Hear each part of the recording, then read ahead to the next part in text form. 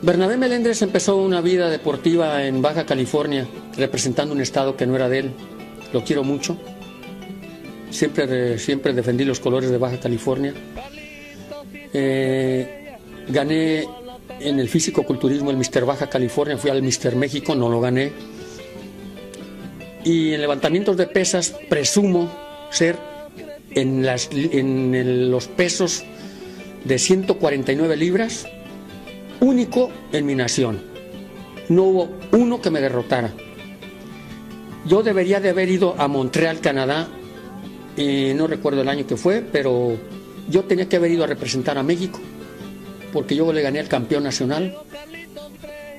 Pues que yo iba a representar a México y me quedé con ese anhelo. Pues soy jinete, sí me gustan los caballos, bendito Dios, nunca me ha tumbado un caballo la carrera dura segundos, pero por mi mente pasaron 50 mil cosas. Acababa de pasar el accidente de Superman. A caballo parado se quedó inválido. La mujer de Hernán, del de los Tigres del Norte, muere a caballo parado. Y dije, yo en este caballo me voy a hacer pedazos. Y yo dije, todo me lo voy a rifar. El caballo ya iba desbocado, su vista iba arriba.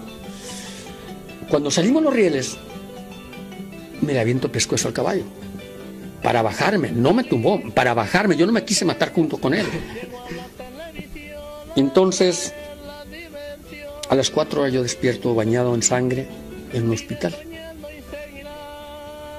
Y la verdad, ahorita acaba de decir que yo no maté una gallina, pero por ese momento sí cruzó en mi mente matar a alguien. ¿Matar a alguien? ¿Qué, ¿Para qué me ponen a hacer esto? Sí, y yo iba, mis intenciones eran muy negras y me fui derechito al hotel donde estaban hospedados donde estábamos hospedados en busca de dicho director. Pues no sé si para matarlo o golpearlo, pero yo, yo, yo tenía muy malas intenciones. Y afortunadamente cuando yo llegué al hotel ya no estaba, ya se había ido. Bendito Dios.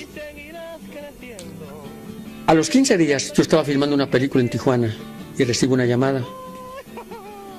Y me dice, disculpe, es el teléfono de Bernabé, le digo, a sus órdenes. Mire, yo soy el dueño del caballo que lo tumbó.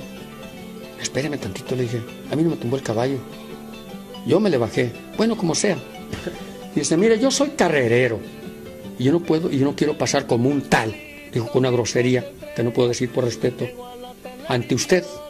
A usted estaban tramando matarlo. Y yo les dije, no lo suban, lo van a matar. Eso es precisamente lo que queremos ver si está muy jinete. Ya no era el freno del caballo. El freno ya se lo habían llevado no había faja. Entonces, subirme a un caballo es como aventar a alguien que conozca la rumorosa, aventar un carro sin frenos para abajo. para abajo. ¿Cuándo lo detiene? Nunca. Entonces, hago mención de esa película porque de ahí dije, ah, bueno, pues entonces si el señor se ofendió porque iba a dirigir, la siguiente la dirijo yo, pero con dinero mío.